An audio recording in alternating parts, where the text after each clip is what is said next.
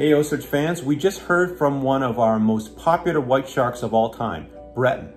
Breton was tagged as a 13 foot 3 inch adult male back in September of 2020 off Scatarie Island, Nova Scotia.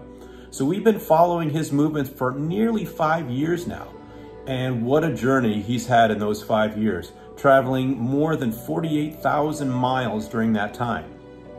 So when we look at uh, Breton's movements on the Global Shark Tracker, we can see that he spent uh, time as far north as the Gulf of St. Lawrence and as far south as the Bahamas. He spent a lot of time in coastal inshore waters, but probably just about as much time in the offshore pelagic waters of the western North Atlantic.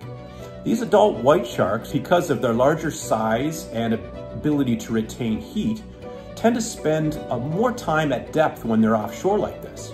Uh, and they're likely finding prey at depth, such as squid. But where is Breton now?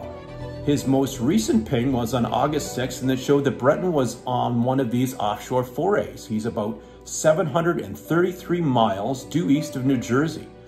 Of course, Breton wouldn't be a 13 footer anymore. Um, in these five years since his tagging, he's probably grown to be closer to 15 feet in length. If you want to follow Breton and other tagged ocean animals in near real time, check out the OCEARCH Global Shark Tracker app.